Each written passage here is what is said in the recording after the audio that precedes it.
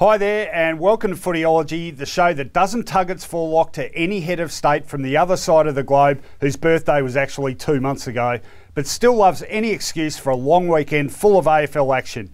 I'm Rohan Connolly, with me is my co host Mark Fine, and together we're going to bow at the feet of a big round 12, hailing the majesty of some terrific team performances, and perhaps bestowing a knighthood upon a certain Geelong midfielder who played one of the great individual games of the modern era. We'll be joined by Jon Pierik with enough footy news to please Her Majesty, plus fill several editions of the paper and a few souvenir mugs besides. We're back with all the segments that have made this show a royal family favourite for such a long time now. Rounds of our lives, Keyball Q&A, the credibility ladder and the rant off. We might even throw in a gratuitous corgi or two, preferably grilled and served with a side salad. So let's get cracking and well may we say God save the Queen because nothing will save you viewers from Mark Fine's steely gaze. G'day, Finey. We're not amused. Yeah, you're not. Are you a royalist or a Republican? Oh, I, I like her. I reckon she's Yeah? all right. Yeah. She's into her what tenth decade now. She's I, a, I hope she gets the ton. yeah. I Uh, it would be terrible if she. I don't know. Run got- out for. I'm a Republican, so run out for 99 sort of suits me okay. What's what's that? I- Getting knocked I- over by a car three days before a hundredth birthday. I don't know. Eaten by a corgi. Wouldn't it be great if she got to hundred though? If she gets to send herself a telegram. Save on postage. Congratulations! Thank you. Highlight of the uh, round 12 for you. Well, you're actually going to be part of the highlight of the round Oh no. because. Must have been. Uh, Did you see GWS Sydney? I did. Did you see the guy that won $100,000? I did. You are going to go for hundred thousand dollars. I've done this to scale. If you get this in, it's a one hundredth scale. Yeah. So I'll give you a thousand bucks. Not a chance in hell. Um, no, Big budget on this show. I'm not we giving you a obviously couldn't afford that. It was great though, wasn't it? It was Yeah, it was. amazing. Yeah, it- biggest cheer all day. And uh, gi- imagine if Mark Jamar was going for it. Money would be safe. He would have had to pay them. And uh, it was a great round because Yep. St Kilda, my team got a bit of um, salvation, and teams that I have slated in my childhood as the bad boys of football, Essendon, Carlton, and Collingwood, all got theirs. Well, my team gets smashed on a weekly basis now. It's getting a Mm, bit boring, to be honest. Yeah, yeah. I'm beginning to know how you feel. Felt. Nine big games across four long days. It was a marathon that began with a whimper, and if you were Collingwood, ended with one, but was nonetheless full of incident. Let's look at the pick of it all in hot or not. I, um, I led off last week. You're going to lead this week. Sam, I think Jay Reid, hadn't played for three years. Former Western Bulldog with GWS, lost in the NEAFL, came back. Obviously, he's been playing well because they brought him back for a big game against Sydney, kicked a, a really important goal, and the, the team just got around. I, I just think it's a great story of persistence, and they feel more like a club now. All the players obviously really like the bloke because of what he's been through at the club, and it's all about the club and the player, and it, it, it was real to me, and I really liked it. And well done, Sam, Jay Reid. There's, how many players of similar names do we have now? There's, quite, there's two Nathan Browns, Yeah. two Sam Reids. Mhm. There's someone else, isn't there? Yeah, there? no, there's more. There's two Mitch Browns, Two Mitch Browns. two Josh Kennedys, Mm. not bad. Noah's Ark. Two Scott Noah's Ark. Two Scott Thompsons. I think I've got. You always rely- yeah, no, you're good. You're good at that. Okay, um, my lead, uh, hot or not this week. Uh, hot is Melbourne. Um, fantastic performance at the G yesterday. I was lucky enough to be there to see it.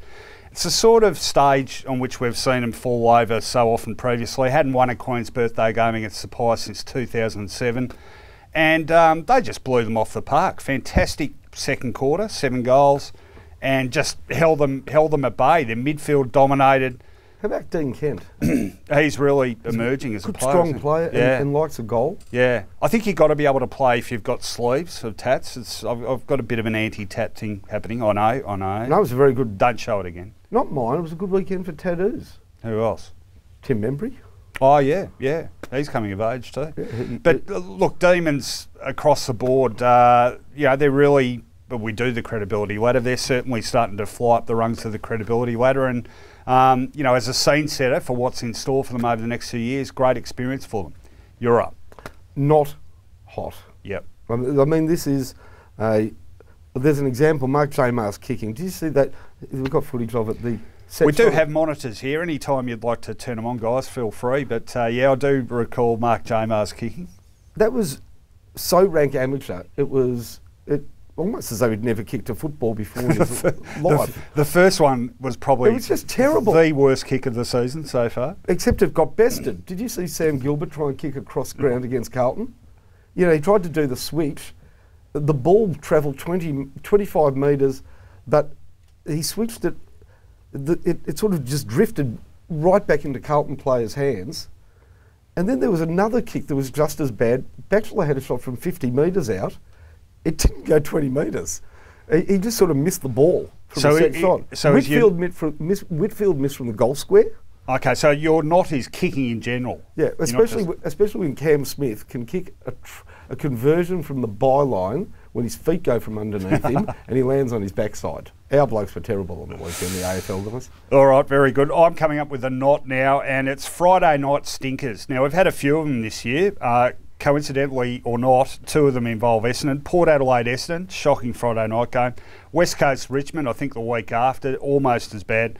North Melbourne Richmond in Hobart. All we got to hear about was how cold it was all night. I mean, well, why would you schedule a game like that for a Friday night in Hobart? And then topped, of course, by the absolute debacle of Essendon Hawthorn Friday night. Now, Scott Lucas on SEN came up with the, again, not the first time, but the flexible fixture proposal. The more I think about it, the more I think it makes sense. I mean, as long as there's enough notice, you've got some idea, say, six weeks out, whether a game's going to be reasonably entertaining or not. Now, I don't, I don't see that the, uh, you know, the uh, travel packages people buy, why can't they be flexible enough to cater to it? I, I remember in the 90s, shifting games was the ultimate compliment you could pay to a team, you know. To a bigger stadium, yeah. Yeah, so a, a Footscray or a, a Fitzroy, even a, a North Melbourne, would have a little run of good form and they'd be told another win and we might transfer the round 17 game against Collingwood from Arden Street to VFL Park. It was, yeah, no, it, now, it now was flexible and it was good. now we're locked in through the, you know the whims of some Johnny come latelys who want to have a long weekend in Melbourne. Yeah, and it's written in stone because of the corporate commitments. Because, Exactly. Because, you know, Jack McMillionaire can only eat sirloin of beef on a Friday night. On Saturday night, he is unavailable. I've had the beef sirloin; it's not great. Okay, last one. I never thought I'd say this. Hot, and I really mean it, is Jack Watts. He's now an acceptable AFL footballer. Not a superstar, but a damn acceptable AFL footballer. Do you know this year he's kicked 24 goals in 12 games? His best haul since making his debut in 2009 for a season was nine uh, 2013, 22 goals, and he's already surpassed that with 12 games played and 10 to go. No, it's been good. Very, foot- con- very consistent a good season. footballer. But I think I can top that hot with my own last hot, Patrick Dangerfield. In 33 years of covering football, I've awarded three 10 out of 10s.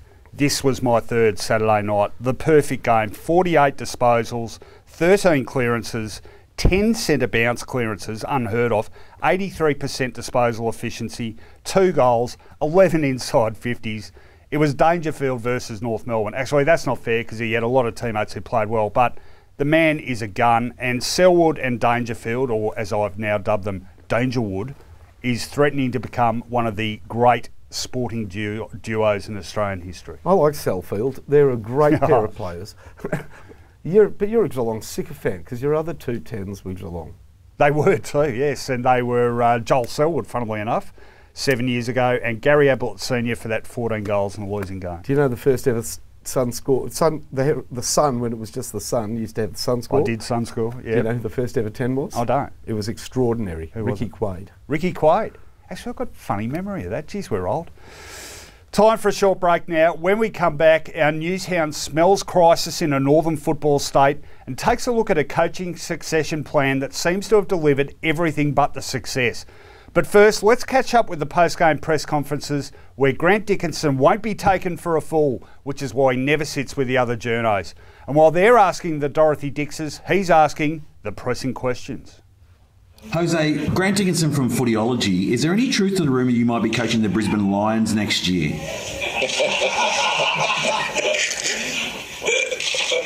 the AFL side, yeah. Because we heard. Brisbane Lions? Yeah. I know who it was. I'll tell you. Is it It's- Portuguese or Brazilian? It's in Brisbane. It's in Brisbane.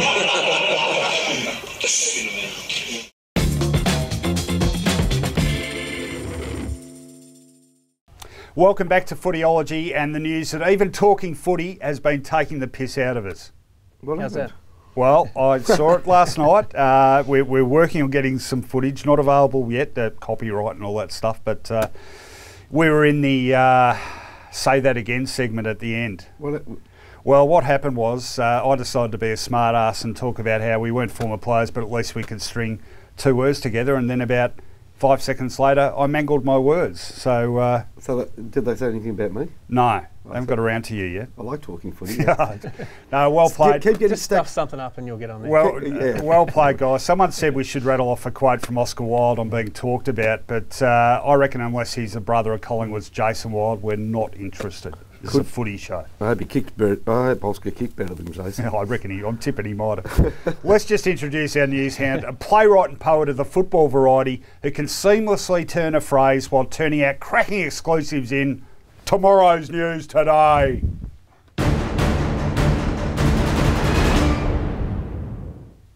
G'day, JP. and Ron. sorry, look, I'm sorry I do that mock sort of serious thing, but I don't know. It's just, it's just got frontline written all over it, this segment. Talk about mangling things at the moment. Well, that's probably the case with the Brisbane Lions, isn't it? Another heavy loss at the weekend, this time to the Fremantle Dockers. There's more speculation about the future of coach Justin Leppitsch, and he was asked about this post-match on Saturday. Oh, here we go again. oh, God, God. Can we stop these silly questions? I'm getting a bit over it, to be perfectly honest. What would you ask someone if they're going to keep their job? First of all, it, is, if you said that to someone on the street, it's a disgusting thing to say. Second of all, ask someone who decides it, not me. So that's the answer to it. So stop asking me. Ask Leigh, ask Swanee.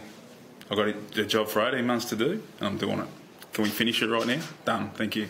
Right, so, he's So getting, it, it- it didn't take too kindly to being asked about his future, which is probably fair enough. He said, you know, if a person on the street was asked about, you know, are you going to be sacked, it probably be, wouldn't be a good look. So, So let's do media management here. What Yep. should he have said when asked whether he felt his coaching future was on the line? Well, I think he handled it pretty well because he finished off by saying, "Go and ask someone who's in charge, like Swanee or Leigh Matthews." So they're the two guys that will ultimately make the call on him. yeah. So, but at the moment, like he's he only had 12 wins, 44 losses, a winning percentage of 21%. Is it too easy though to, to blame him, Finey, or do they need more resources in the football department? Would he be better off if, say, a Neil Balme or a you know an, an experienced football manager was by his side? You're dead set correct because they are under resourced in the football department. Um, I read an SMS, not to me, and I won't name the champion, a former Brisbane champion, and not somebody who takes any pleasure in the club's current situation, suggesting that their young talent is undercoached and left to their own devices. Did you know in the NEAFL on the weekend they were playing Southport Sharks with 16 Brisbane Lions listed players? Southport had seven injuries to their best 22, and Southport defeated them by bad. eight goals. Yeah. Really? This, I've got a big butt with this, and I, I've got You've got a every. big butt with everything. So. I've got, I've got uh, cigarette butts usually. I, I've got uh, plenty of sympathy for Leppa, but I just look at that list. I reckon it's a much more talented list than the performances indicate. They've got plenty of senior talent. They've got young guys who've been around the, the scene for quite a while now. They pushed Sydney to within three points when they decided to switch on. And the, the most damning from a coaching perspective thing about that performance on Saturday was the fact they came out, kicked the first three goals, and the moment they were challenged, they just turned it up. That's Now, been the case all season. well, that to it? me, Yeah. that, that's got coaching issue written all Yeah, over it. Too many players in reverse. Lewis Taylor wins the Rising Star. Gone backwards. Gone backwards. Yeah. And Daniel Sa- Rich Sa- on the Rising Star goal. Well, spe- Sam speaking of Mays. Speaking of Lewis Taylor, we've been told that he wants five hundred thousand dollars to remain per season to remain at the club from next year. Yeah, too There's some interest in Victorian teams, but not at that price. I've been told the Lions they won't match that offer, and if he really wants to come home, well, they'll, they'll try and get a trade done. Well, Adelaide definitely won't take it Yeah. because Adelaide, because Eddie Betts is going to win a car for goal of the year, and he Oh, doesn't. Oh, they don't need him, that's for sure. And he doesn't want Lewis Taylor to smash it up. Who would you take now, Lewis Taylor or Bontempelli? In terms of the rising star, God. Next let me question. guess. Next Um, at Collingwood, well, a lot's been said and written about the Pies this year. I'm not too sure what else can be said of how bad they're travelling at the moment. There's general, a general feeling, though, Mason Cox probably deserves a spell in the VFL. He's sort of slipped in the last few weeks. He wasn't I very disagree. good, particularly against Melbourne. I disagree Perhaps bring back Travis Cloke. Pa- Perhaps pick the team properly. Wait till my rant, but Mason Cox's benefit to the side is that he can take his turn in the ruck, saving them from playing an extra ruckman. Do you realise? I did a, a mathematical last night. The who are the five best ruckmen in the comp? Well, they're Goldstein, Gawn, etc. Naitanui, Mumford, and Tom Hickey. He's kicked more goals than all of them, with 13 in eight games. They've all played 12 games. Yep. And even the resting ruckman, he's kicked more goals than. He's Yep. kicked 13 goals and he rucks capably each week. Just a quick one on the pies. Uh, yes or no answer from both of you. Is Nathan Buckley coaching for his future in the second half of this season? Yes. Yep. it's already, his, his future should be written in stone, but it is. I just think it's that he's coaching on for some reason. I'm just going to expand quickly on that. I don't want to be Mr. Hardass today, but the number of young players they've got whose performances and development has plateaued, that says coaching issue again, I reckon. And just a couple of things around the ground. So Brad Scott's hopeful that Andrew Swallow will play in Friday night's blockbuster against Hawthorn. We obviously saw him crash to the turf hard on Saturday night and has concussion. The Kangaroos are also hopeful for their other injured guys can get up. Um, Dal Santo and Cunnington, the two important ones there. Um, we've also the Essendon Draga keep Essendon saga sorry keeps dragging on at the moment. Um, player managers and the like want a meeting with the, the AFL and Essendon and their insurer and the like to try and fast track this in terms of the compensation. There's real worries that this could drag on now into 2017. oh, that'll make a change, yes, and saga dragging on. Who, who would have thought that would Nice have five year deal, hey? Can I ask you a question? Why did Essendon re-sign Bill Chambers? Uh, yeah, I've got my doubts about that one as well. Well, the He's Bombers have rated. said they, they owed all their players that extra year they missed out on. So this is, this is one of those deals as well. He was also contracted for next year. So it's honouring the year he's missed out. It's a footy club, not a charity, but um, yeah, I guess it's a Lew- moral. Leuenberger's become Oh, he's good. been good. Yeah, he's been good. Thanks, JP. We'll see you back for the uh, credibility ladder. Thanks, nice guys. suit again, as always. Let's get to another break. And hey, we- I, I've got something for you Oh. as we go to the break. okay. How about the crowd at Carlton St Kilda? 47,000. I no, it was a ripper, yeah. 700. And as much as they were mainly Carlton people finding it hard to get in for the start of the game, at three quarter time when the Saints were 41 points ahead, have a look at these rats leaving the sinking ship and they could not get out quick enough as we go to the break. It's ordinary people do that.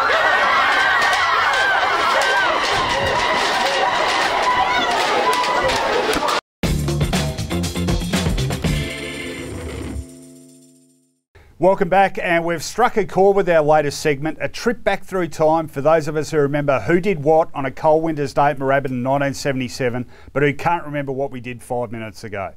Round 12 over the years has had some big moments, some big milestones, big performances, and some big controversies. And you're going to get a taste of them all right now because, like a stick of chewing gum that broke your teeth when you bought a new packet of Scanlens footy cards, so are the rounds of our lives.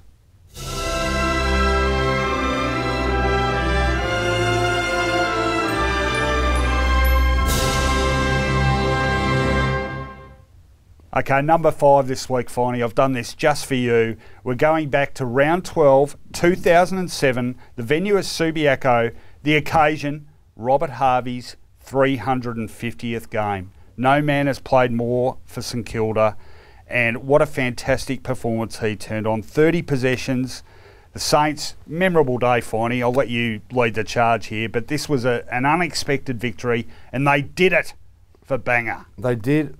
A, it's a wonderful footballer, self-effacing, incredibly durable, a runner, a champion, but his milestones were in the wrong place. 350th at Subiaco, and his 300th was the night St Kilda got beaten in the preliminary final Oh, by yes. Port Adelaide. When he ran onto the ground for the 300, the Port Adelaide hierarchy played the Port Adelaide song, and I was sitting amongst some Port Adelaide bikie types, and they stood up and they gave it to him.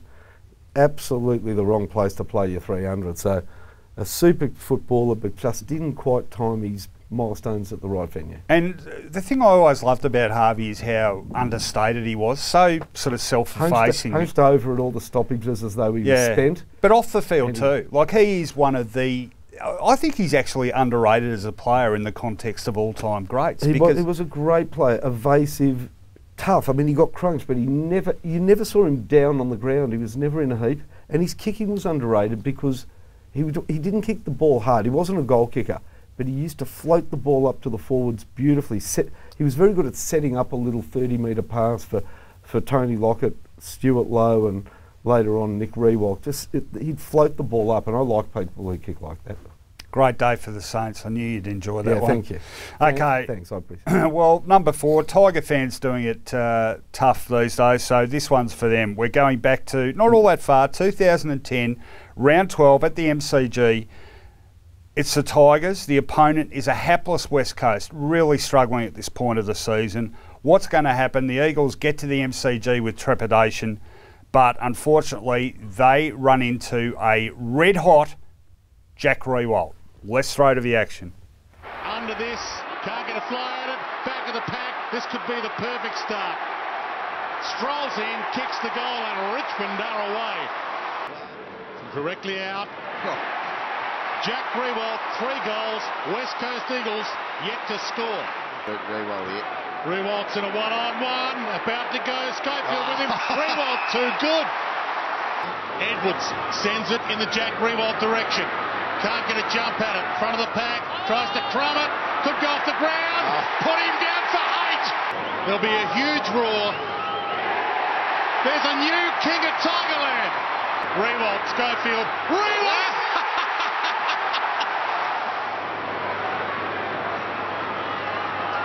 for number 10. The new hero has double figures. I reckon. Uh, look, he, he's had a he's been a great spearhead for a long time now, but I reckon that that was the day I went. Geez, you know, this guy is one of the greats of the modern era, really, in terms of goal kick. Look, he kicked 10 goals, but he just doesn't, he's not a goal kicker anymore. I know he plays further His up- role's changed, He's, hasn't it? he plays much further up the ground, but he, he's not hungry for a goal. Mm. He, he doesn't yearn a goal as he used to. I, I think they missed something by him not kicking as many goals. I still, uh, I know this is by the by bit, but the Eagles that year, wooden spoon. What happened? And then the next year they were in a preliminary final. And then the year after they were disappointing, and then the year Yeah. after they were good, which was last year. And have a guess what this year will be? Yeah, well, something about Western Australian footy culture, and I'll come to that in my rant. Something about something comparable to a, a lift or uh, working girls' knickers.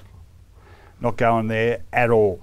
Number three, let's go back all the way to 2015, and it's Melbourne playing down at Cardinia Park. Yes, I'm going to call it Cardinia Park, not Simonds Stadium. Now, this has been a very, very unhappy venue for the Demons.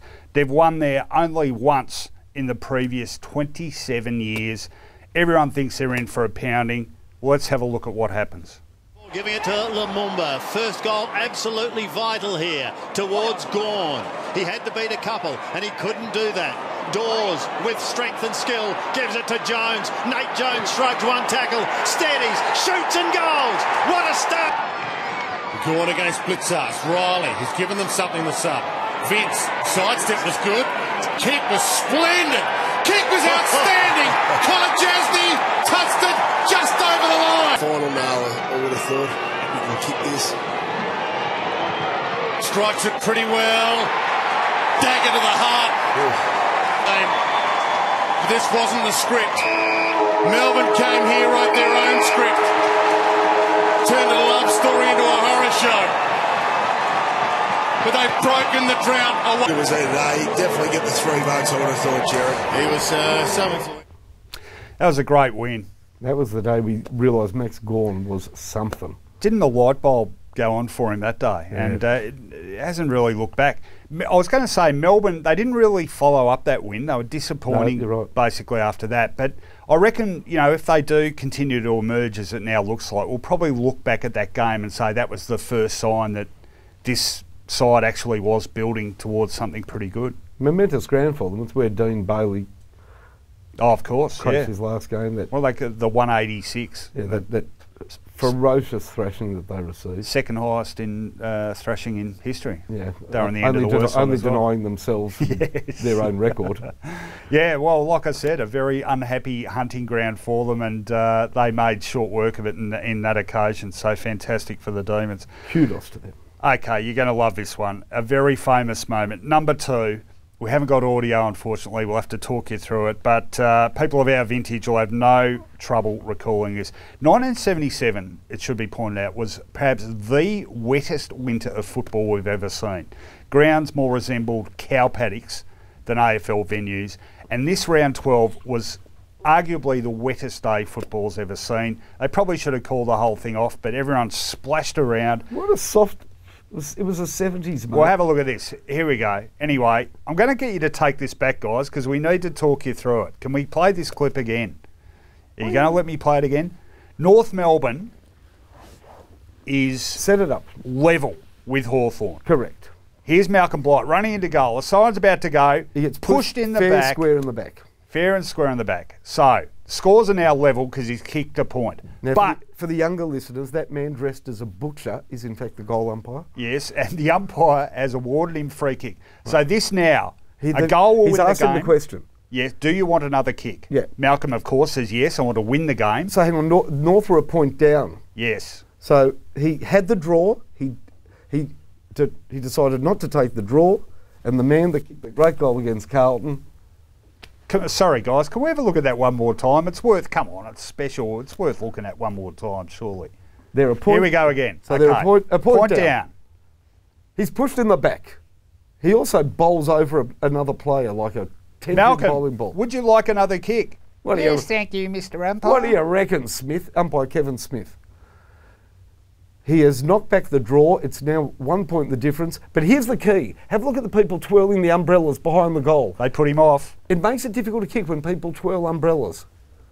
The twirling umbrella puts him off. Oh, Malcolm Blight, what have you done? He's almost hit the crest thought going side. berserk. I like all the ads, crest lager. Of course, it should be uh, stated here that North Melbourne did go on and win one of the great premierships after drawing with Collingwood in the grand final. So it wasn't. Uh, and that lady's umbrella was rendered useless after that because she broke all the spokes and paid the ultimate penalty of winning the game for her team but losing the umbrella.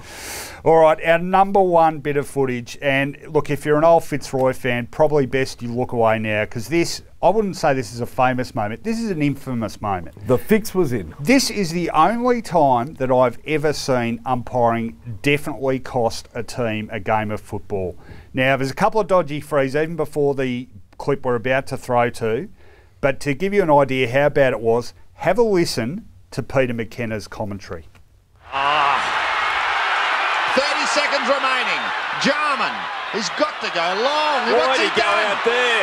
He's gone to Paul Roos, who couldn't take the mark. But Roos tries to bottle it up. Now Blake's Precious going to hold it. to Oh, hold no, the no, ball. no. oh, this is murder. Oh. Absolute murder.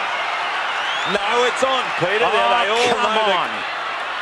Jemison is going to take the ball. He's If- kicked two goals. If they win this game, it's been pinched. Absolutely stolen.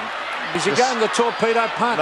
The siren has gone. The siren has gone. This kick, if it's a goal, will win the match for the Crows from 47 metres. It'll make the distance. Oh, he's kicked it! They've stolen it! It's a goal! Absolute murder. Absolute murder. Unbelievable finish. Ah. I didn't even barrack for the Royals. I nearly put my foot through the TV that night. Now, that last free kick, seriously, that's Stephen Paxman who gets penalised.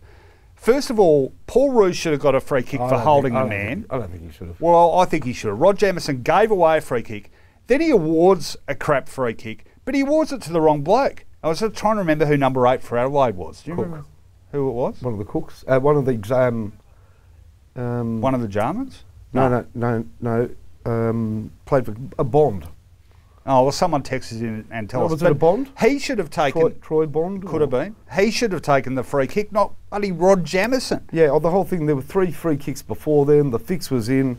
Robert Shaw was coach for Fitzroy, and he claims that um, there was a conspiracy against him, of course, because of his time in Adelaide. And I love Peter McKenna commentary. It was a disgrace.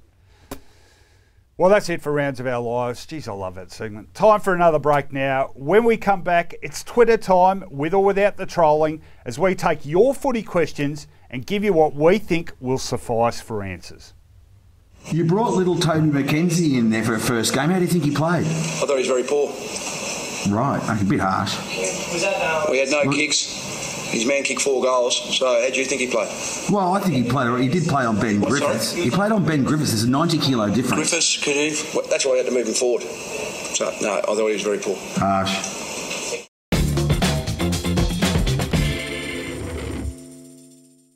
Thanks for joining us here on Footyology. It's your part of the show now. Send Finey and I your footy questions every week using the Footyology hashtag, and we'll not only answer them, but maybe even get your name right. It's tweets answered by twits on keyboard Q and A.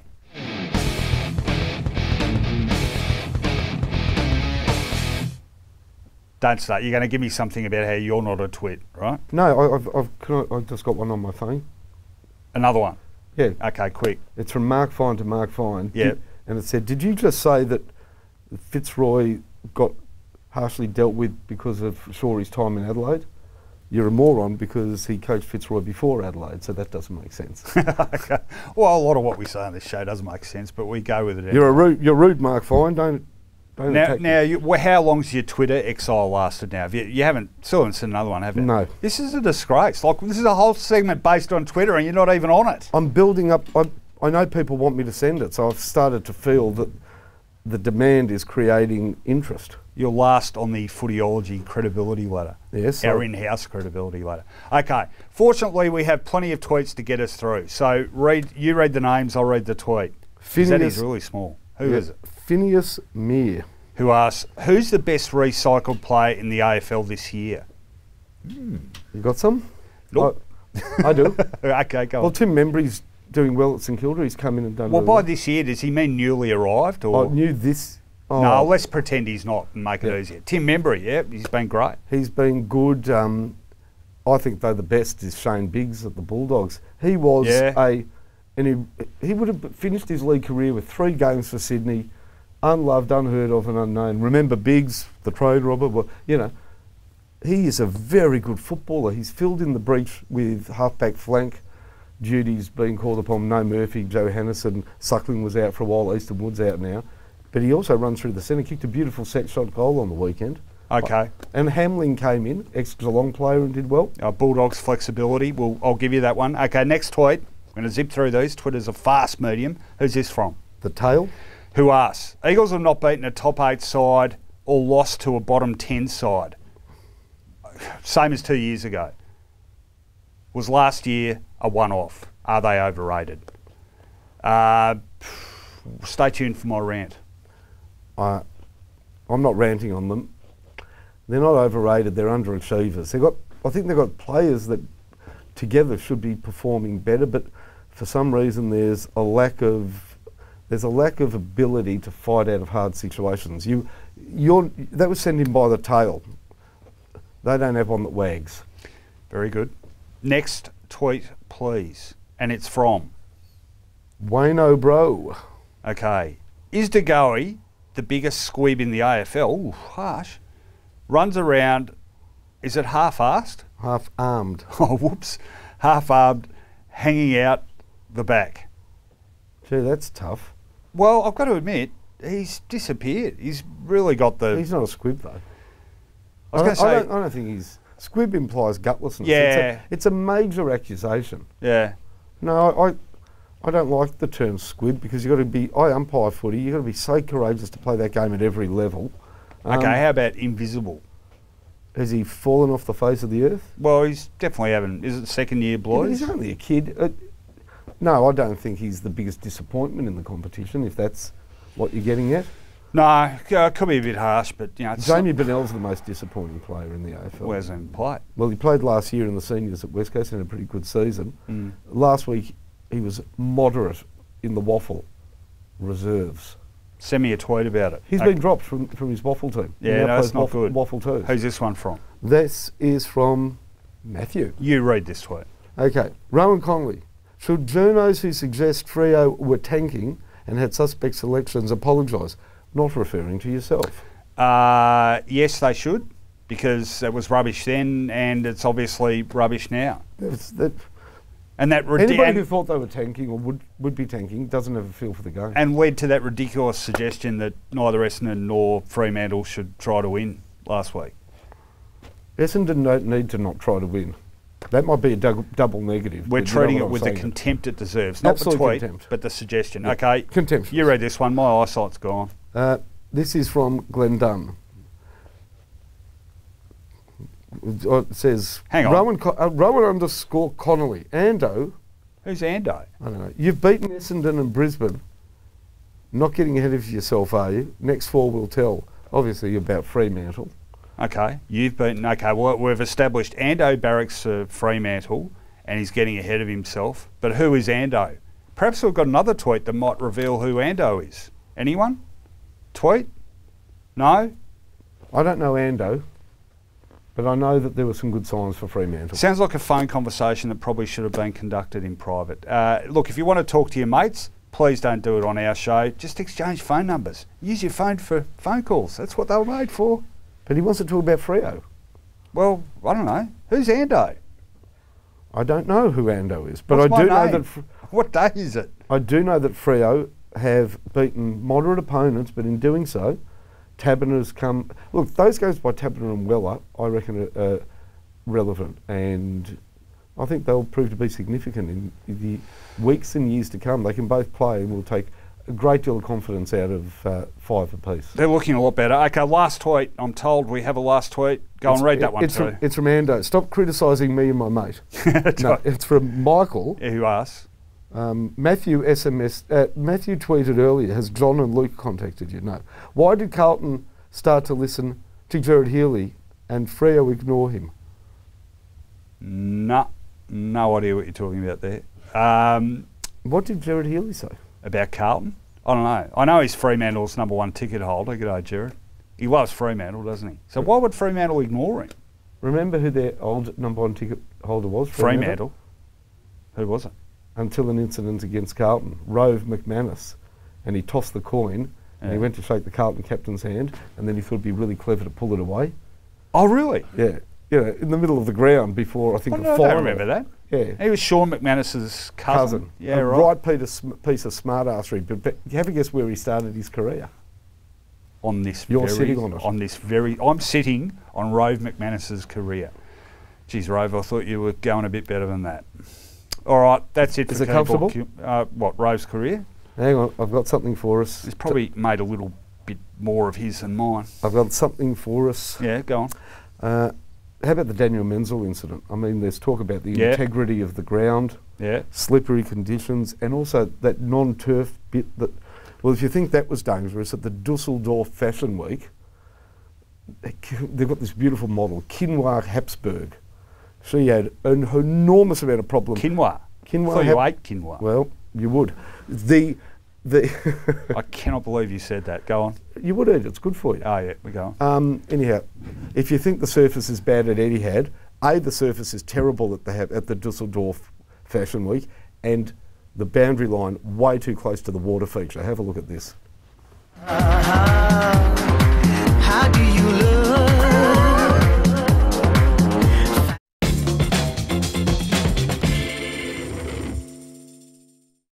Uh, welcome back. Look, Finey, I'm a bit worried about Quinoa. Is she okay? That, No, that no. looked pretty serious. It was. It was a serious injury. She's not expected to be right until the Paris Fashion Week, and she's going to have to come back through the Target catalogues and stuff because she's just a model now, not a supermodel. so it's going to be a long way back to supermodel for her. All right. Well, this is the tightest premiership race for years, and the race of football respectability is no less frantic. Teams don't just yearn for victory; they yearn for love and affection. On the Footyology Credibility Ladder.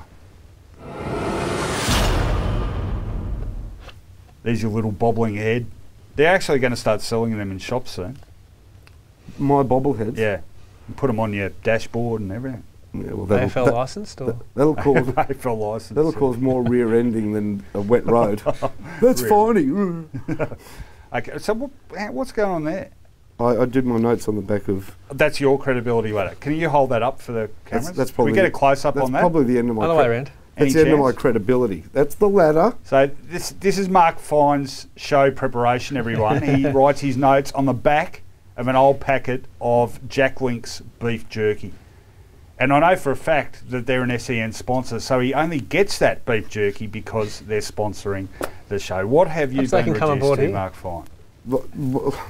We can't all have jobs with newspapers and radio stations. Well, the two of us won't have one for very long at all. So get back to you on get ready to eat beef one. jerky. We're going to go and. Uh, I like beef jerky, so uh, maybe Jack Links can throw us a, a gig. Anyway, you're last on the credibility ladder. Let's get into it. I've made an executive decision yet again for about a 12th week in a row. Number one team without any shadow of doubt, GWS. Fantastic win over the Swans. That was their coming of age. Uh, they are a serious September player. Anyone got any problems with that? Yep. I would have What is argued? Adelaide. I reckon Adelaide. Adelaide become a genuine premiership contender by beating last year's runners-up, this year's premiership favourites pre-season in Perth. Well, GWS have just knocked off the most consistent side in the competition. What else can they do? Tippett got injured during the game, so did Naitanui. Hmm, dilemma. Okay, so you reckon Adelaide? Line ball. What line do you reckon? Yeah, I was going for Adelaide. Yeah, well, you both get stuff because it's GWS and I've already locked it in. But I'll give you a concession Adelaide can go second. Although, I reckon coming into the debate with Adelaide, at least worthy of discussion, is Geelong. Great win over North, only one previous loss to the This is like this is like doing the credibility ladder with that guy from Zimbabwe, that Robert Mugabe. Robert Mugabe. Yeah. You're you're a dictator, mate. Well, I am if you're going to turn up 10 minutes before the show starts. Actually, it was at least 20 today. Thank. Uh, next in the discussion is Western Bulldogs. Have you got them on your Jack Links beef jerky packet? I have them fifth. Fifth? Yep. Okay. Yep, no, they're right up there. Okay. Good win over well, they're not fifth, Port. they're fourth. Yep. How about St Kilda? Uh, St Kilda, I've St got fifth. Great win. I thought St Kilda Bulldogs. Yeah, pretty close. Yeah, Bulldogs beat uh, uh, a Port on a good day at away from home. Yeah, I but think St Kilda were coming back, playing for their credibility. That the coach had put it on the line. yeah, that's true. Bounce Uh, back or- Only beat Carlton though. Yeah, true. Let's ask a Carlton fan. Terrible day for the Blues You know, you know what Carlton looked like against St Kilda? Carlton. um, of last year. Carlton of the last 15 years. Uh, we shouldn't laugh. Hi, Barrack for Essendon. Uh, next, Barrack for St Kilda. um, coming in underneath the Saints, I reckon Melbourne. Good win over the Pies. Okay, the Pies. But it was a big stage. I had them higher because of Did all the historical Yeah. relevance. Yeah, no, but you're, you're probably right. History Yeah. is not really what this is about. No, look, I'd be prepared to concede it to if we didn't have to lock this in at least half an hour before we go to air. Okay. When we get quicker to react, we'll uh, we'll be able to change up a bit more. Uh, next, I've got. Uh, I said that very quietly, didn't I? Like Dermott Dermott Brereton, when he says something important, his voice goes quite quiet. Hawthorn next. Speaking of Dermott Brereton, I will do it like Ron Barassi. it should be Richmond. hurry up with it. It's an No, hour well, long Bar- show. Barassi, had to, Barassi just paused between it. Yeah, Come on, what is it? It must be important. He's pausing again. yeah. I like Hurry up. twisties, he would say. Okay. No, Anyway, I, I've got Richmond. Let's get through this. All right, Hawthorn next. Uh, Hang on, hang on, where's Richmond? uh, uh, they're down the bottom. They're always down the bottom. They only beat the Suns. No, we're getting to them. Fremantle next. In Melbourne. Made short work of Brisbane.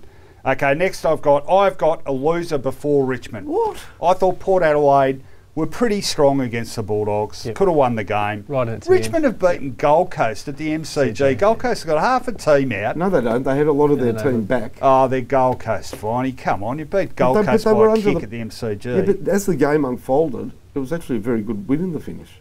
Did come from behind, yeah. They were three Yeah, goals yeah, down with the with. They would have been in the Collingwood hot seat. They would have been absolutely torn apart. That was a great finish by Dustin Martin. That was the sort of thing that Richmond of the early 1990s would have said. Celebrating a win over a, an ordinary side at home, game they should have won. You're outvoted. Okay, next you. Gold Coast. Mr. Mugabe. Having said that Richmond were no good, we, we're putting Gold Coast next because by their So did I. admittedly low standards, that was a pretty good performance. North Melbourne next. Have some excuses. Lost Cunnington, lost Swallow. Uh, Right. Atley got Yeah. injured. Dal Santo got injured. Goldstein no midfield. bit, yeah. Goldstein Yeah, struggling a bit. a bit, yeah. So I, I just hope these are all genuine injuries because none of them, all players are expected to play this week. Mm. And I don't like it. There's a bit of a, a, a smell of uh, loser's limp with a couple of those. Hopefully I'm wrong. You hate North Melbourne, Mark Fine. Dude, you do. I just thought I'd set you up. Uh, next, Sydney, ordinary, smashed in the finish against GWS. Carlton, very ordinary, lucky not to be lower. Bottom four, in order.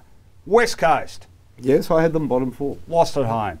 Stink. Yes. No good. Well, I didn't score in the last quarter. Yep, first time they've never scored in a quarter at home. And there we go. You see the ladder coming up now. Collingwood next. I had Essendon. Uh, Essendon above Collingwood. For Yeah, you? but but swap either of them. Yeah, yeah, both assuming But the traditional places in the credibility ladder. The super stinkers. And the super stinkers. Brisbane. I never Paddle thought I never thought I would ever say this line, but they are doing the Brisbane Bears and the '96 Fitzroy team a disservice now. They are very, very ordinary. In terms of credibility this week, though, you could argue the Eagles could be bottom. Really? Yeah, well, I could not the argue that. Lions, and, Lions simply are no good. Essendon's no good. Well, we I'm, know where the uh, pies are at. This is a, this supposedly was a team that's going to finish top. No, four, I the Eagles. agree. I agree. And to that end, I think I'm going to change tack and make them the subject of my rant, which is coming up very shortly. rant off. Rant. Do you want to do the throw to the You rant should off do the- today, yeah, John? do Come throw. on. Yours, no, go on, yours. Go on, have No, a you do it go. best. All right, thanks for joining us. Any final words of wisdom? None this week. I'm bereft. Let it be. Let it be. Good song by the Beatles. Time for our final break now. Don't go away because we're feeling extra grumpy this week, and you know what that means. It means a couple of minutes of barely coherent rage from two blokes who should know better. Is Maria Sharapova playing for the women's team next year? Um, I don't think so, no. Um, at this stage, it's all clear.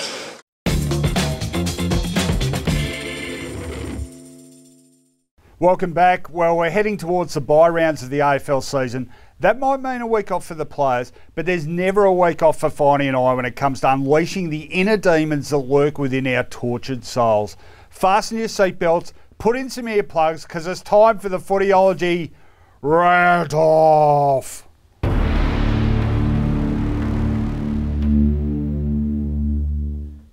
Okay, no messing around. Channel your anger. Let rip. I'm going to count you in now. Three, two, one. Rant. Two teams exhibited atrocious selection skills on the weekend. Both paid the penalty and both de- deserve to be publicly slated. Essendon decided that their ruck combination, one of the few things that works at the club this year, of Leuenberger given a bit of a spell by Daniher, needed the help of a formerly retired Melbourne footballer who hadn't played any senior football for the last year and a half anyhow. They were rushing in the big Russian. And when he had his first shot at goal, I think they might have regretted it. This slow forward line was made slower by the treacly Mark Jamar, whose efforts in the ruck and up forward were reminiscent of the very, very worst of Ricky Mott. Collingwood were inspired though. Mason Cox was doing a good job in the second ruck, helping Grundy around the ground. Why not bring in Witts? Well, the people who selected Witts were wits. Dimwits, nitwits, fu- no, I won't say the next word, but they certainly were wits. Imagine adding him to a side that is so slow they're getting outpaced by the moving shadows of the towers at the MCG. It failed dismally, both teams got thrashed, and it only goes to show that sometimes the fans are smarter than you that run the club. Very good. Yeah, no, I, and I agree. I'm drafting you, hereby draft you onto the Essendon selection panel for the rest of the season. Oh, Ricky Mott, he was my favourite. Yes, no, that, that went down very well. Okay, count me in. Three, two, and I'll give you a one. Thank you. What's going on in Perth, Finey? First, Fremantle don't turn up for half a season, and now West Coast goes from grand finalists to a team with about as much fibre as a bowl of crappy breakfast cereal. All season, the Eagles have been beating up a weak teams at home and turning it up when they play away. Then they finally play a decent team on their own patch and head off to Rottnest Island for holidays at three quarter time. That's the trouble with WA. There's too many distractions. The place is so bloody big it takes half a news bulletin just to read the weather report. But talk about insular, you get a bigger worldview in the confessional room on a series of Big Brother and about as much intellect. You can see it in the players. They're all legends in their own lunchbox. Check out the hair on Sharrod Wellingham, Chris Masten, and Will Schofield for starters. Guys, if you want buns, go to Baker's Delight. Masten's got tats in so many places he probably does that joke about welcome to Jamaica, have a nice day. Well, WA doesn't measure up quite so well on your old fella though, does it, Chris? Darling, schmarling. Redden, red faces for the recruiters. LeCras, lacrap. Seriously, West Coast, if you want to be taken seriously, man up a bit and stop wheeling out that sickly yellow jumper from the 1980s. It's got about as much credibility as Alan Bond, even before he did those Swan Lager ads. You know, you're getting into, stuck into teams a lot. Yeah. You're a journo. Just remember, you, there's a life beyond this TV program. Don't make enemies. There's a good journalistic cliche, Finey. Without fear or favour. Okay, I favoured mine there, and if you favoured mine, voting is simple. This week, go to either Coles or Woolworths or Safeway, create a diversion by asking the manager what is the overseas ownership content of the business. He'll run around in a complete panic. Get to the soup aisle and reconfigure the soup cans to read Roco or Finey. Don't use tomato soup for me, it makes me gag. What could be simpler than that? I ask you. And it's fun. Yep. But, no, but I cannot have tomatoes or vomit. your your voting systems are superb. That's it for this week. Thanks for joining us again. We're on every Tuesday at 12 p.m. on YouTube, 7:30 p.m. on Channel 31, and now every Thursday at 9:30 p.m. on Foxtel's Aurora. By next week, we might even have a deal with Al Jazeera stitched up. That'll put ISIS in their place. And remember, folks, like John and Paul put it in the Beatles' indecipherable classic "Come Together." He wear no shoe shine. He got toe jam football. He got monkey finger. He shoot Coca Cola. He say, I know you, you know me. And that makes about as much sense as footyology. See you next week.